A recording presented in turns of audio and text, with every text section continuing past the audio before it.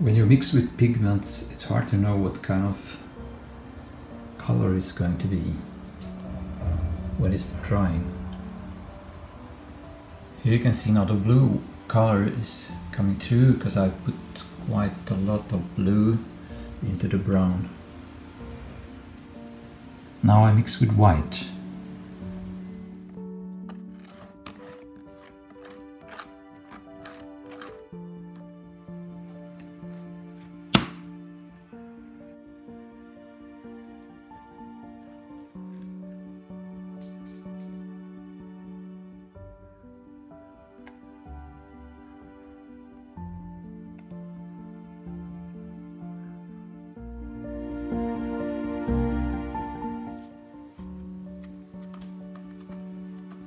I add a bit more of filler and a bit of marble dust.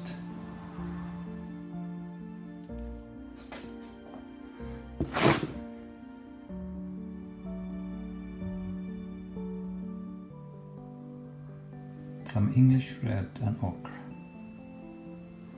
I mix with a bit of acrylic medium.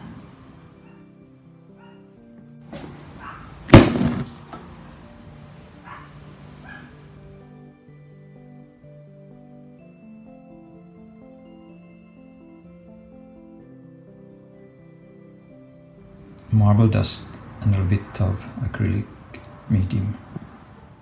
Now it's ready. I will take a bigger tool now this time